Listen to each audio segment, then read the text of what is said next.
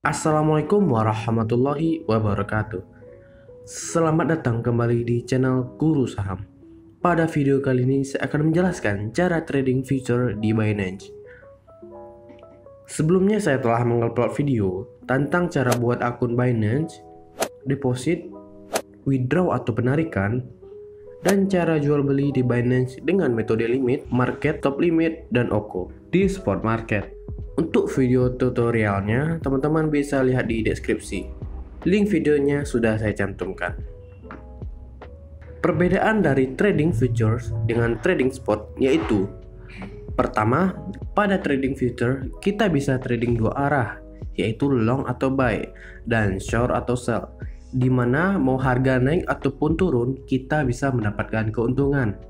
Berbeda dengan spot yang di mana kita mendapatkan keuntungan ketika harga naik saja. Tentunya kita menerapkan long atau buy jika harga naik maka kita akan mendapatkan keuntungan. Lalu ketika kita menerapkan short atau sell ketika harga turun maka kita akan mendapatkan keuntungan. Pada trading future ini kita mendapatkan leverage di mana modal yang kita punya akan dilipat gandakan oleh besaran leverage yang kita tentukan bisa 5 kali hingga 125 kali lipat dari modal kita. 3. Pada trading future, karena kita menerapkan leverage pada trading, sehingga ada yang namanya margin call dan top up, di mana margin call ini adalah peringatan oleh pihak exchange ketika dana kita mulai tidak mencukupi untuk menahan kerugian dari posisi trading yang kita miliki.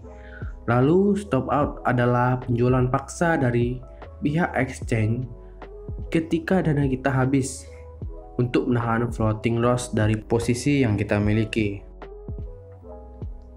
Dari perbedaan yang sudah kita jelaskan tadi, maka kita bisa simpulkan bahwa trading future memiliki keuntungan yang tinggi dan sebanding dengan risiko yang diterima jika rugi.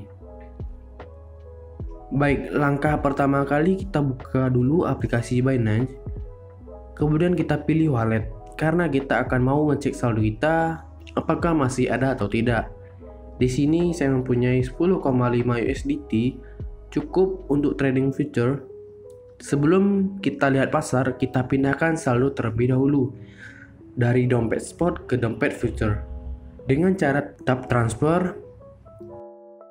Lalu kita ubah tujuannya dan untuk future ada dua yaitu USD future dan coin future. Bedanya adalah USD future untuk modal USDT atau BUSD dan coin future adalah modal koin kripto seperti Bitcoin, Ethereum, BNB dan lain-lain. Karena saldo kita USDT, jadi kita pilih USDM future.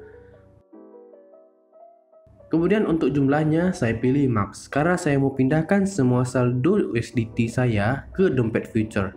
Jika sudah, tap transfer. Kita bisa cek dompet future kita. Saldo dari dompet spot telah masuk ke dompet future sebanyak 10,54 USDT. Di dompet future ini ada beberapa yang harus kita pahami. Ini adalah pilihan dompet USDM dan koin M ini riwayat pesanan transaksi yang dilakukan. Kemudian ini adalah jumlah saldo yang kita miliki saat ini. Unrealized PNL ini adalah info jumlah floating profit atau floating loss. Ini adalah untuk meminjam dan mengembalikan dana. Lalu untuk pertukaran mata uang dan ini adalah mentransfer dari dompet future ke dompet lain. Baik, mari kita coba trading future. Kita pilih market lalu pilih future dan USDM. Lalu di sini teman-teman bisa menentukan koin mana yang ingin ditradingkan.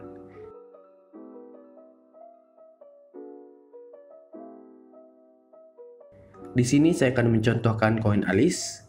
Saat ini koin Alice seharga 4 USDT dan kita bisa lihat chartnya kemungkinan akan rebound jadi langsung saja tak buy.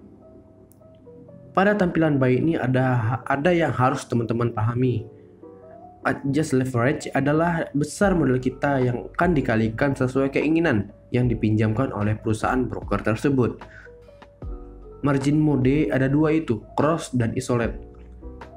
Cross sendiri adalah yaitu mode yang menerapkan margin yang sama dan berhubungan dengan semua posisi trade yang kita lakukan. Jadi ketika terjadi margin call atau swap up, semua posisi yang kita miliki akan dilikuidasi di akun future teman-teman. Namun karena margin yang digunakan adalah gabungan dari semua posisi dan dana di akun, maka lebih sulit untuk margin call atau swap out karena biasanya setiap posisi bisa saja ada untung dan ada rugi sehingga kerugian dari sebuah posisi bisa ditutupi oleh keuntungan di posisi lainnya.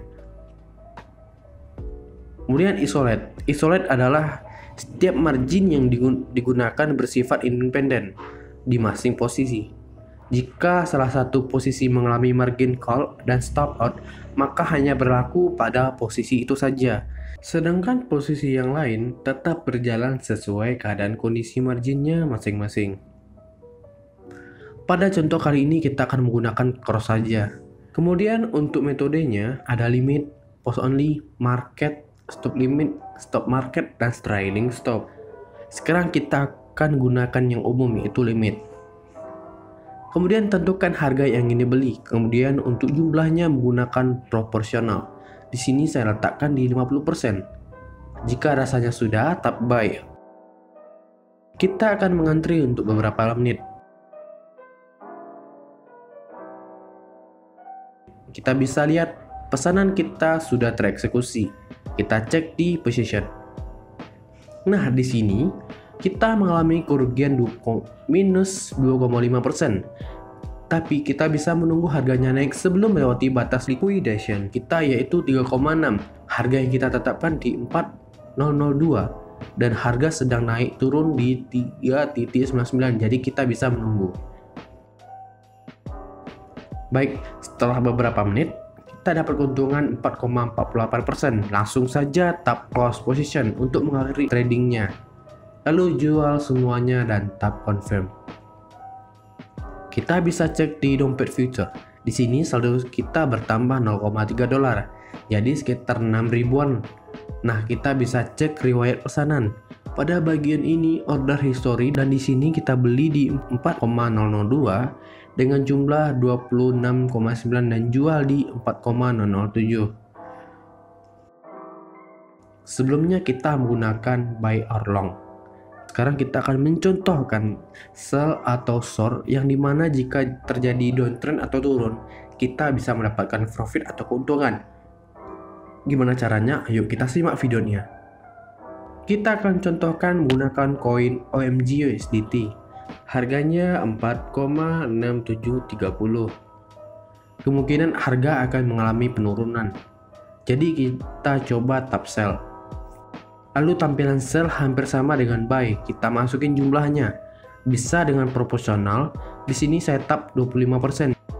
Jika sudah tap sell or short, karena ini trading jangka pendek, teman-teman harus pantau terus Jangan sampai harga koin melonjak mencapai batas liquid teman-teman yang bisa saja top out atau margin call yang dapat kehilangan semua saldo teman-teman.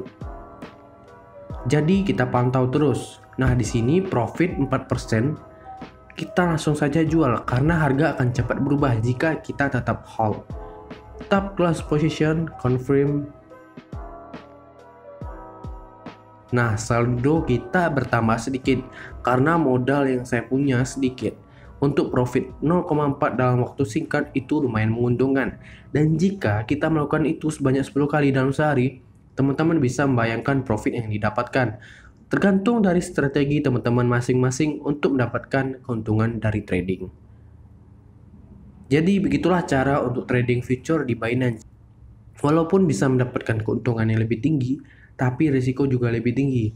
Oleh karena itu kita harus bisa memahami dan menganalisa dengan strategi masing-masing. Oke, sekian video cara trading future di Binance. Dan tunggu video kami berikutnya ya. Jangan lupa subscribe agar tidak ketinggalan update-update video berikutnya. Like dan share juga bila dirasa bermanfaat.